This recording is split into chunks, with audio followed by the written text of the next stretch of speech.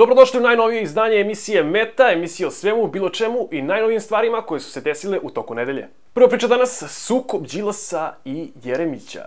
Fight! Podpredsednik Demokratske stranke Dragan Đilas i ministar spoljašnjih poslova Vuk Jeremić izgleda da su u maloj nesuglesici. Dragan Đilas smatra da je 7 miliona dolara koliko vlada Srbije navodno hoće da da za mesto Vuka Jeremića u Ujedinjenim nacijama, malo previše, on to naziva čak sramotnim. Međutim, Vuk Jeremić je i pre pola godine i pre godinu dana bio član Demokratske stranke i tada je nameravao da se kandiduje za predsjedavajućeg u Generalnoj skupštini Ujedinjenih nacija.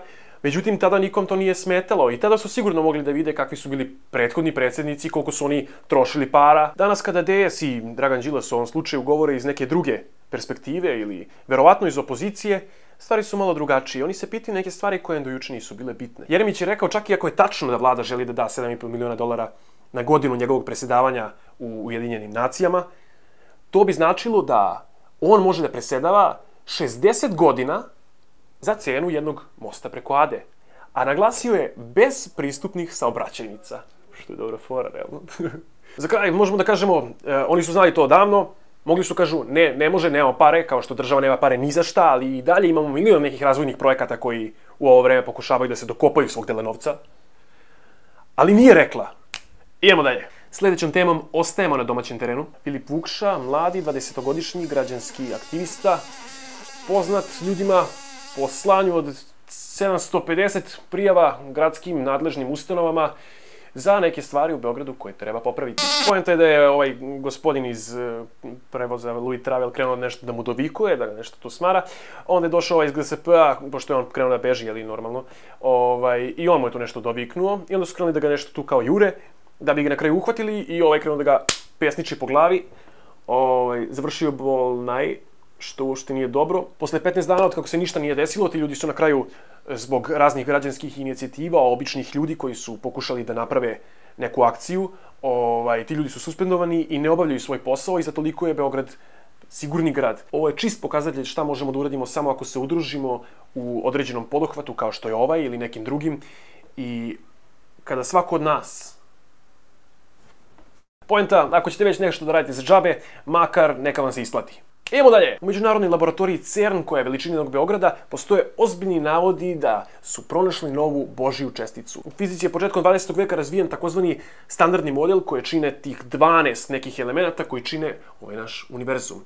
Međutim, nas interesuje 96% nevidljivog univerzuma, sigurno otkriven Higgsov bozon. Pitanje je da li je obična čestica, što se nadaju da nije, ili, da kažemo, ta neobična koja će ukazati da iz nje i iza nje postoji još jedan veliki uh, deo otkrića koje tek treba da nas u, uvedu u taj svet.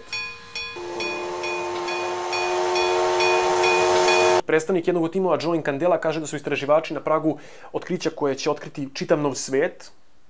Vidjet ćemo da li će tako biti. On kaže da ovaj bozon On je veoma suštinska stvar koju smo otkrili, on nije kao druge čestice, dosegli smo do tkiva koje čini univerzum, do nivoa do koga nikada do sada nismo stigli. Ovo je ključ za objašnjenje strukture svemira. Kada govorimo o postojanju sveta, šta mislite šta sajantolozi misle odakle smo došli?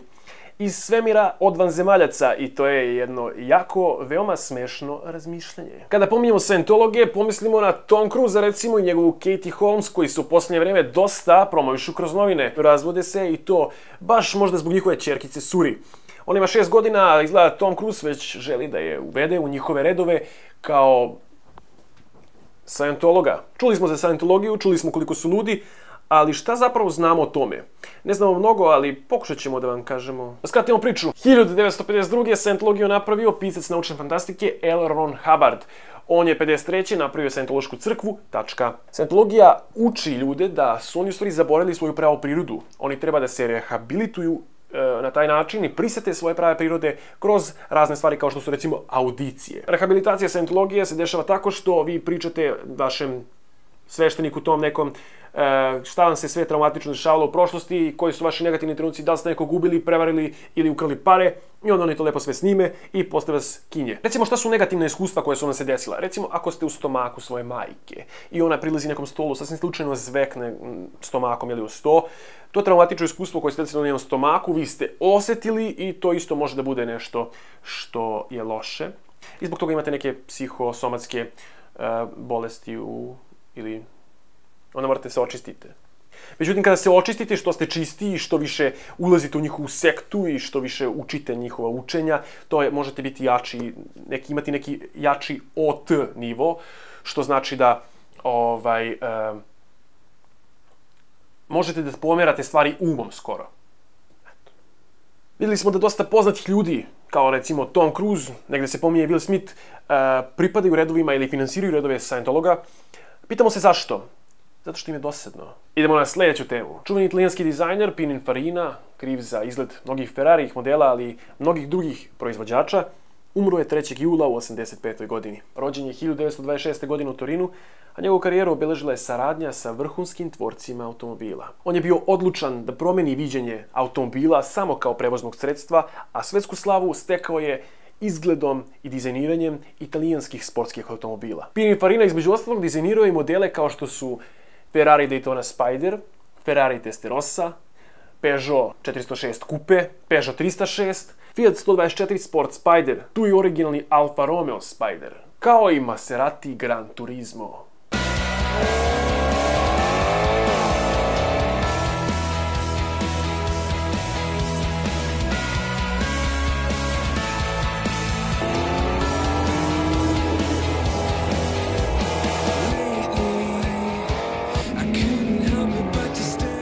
Došli smo do kraja naše emisije. Ukoliko vam se svidila emisija, kliknite like. Ukoliko želite nas podijete svetom, šerujte. A ukoliko želite nas vidjeti i sledeće nedelje, subscribe.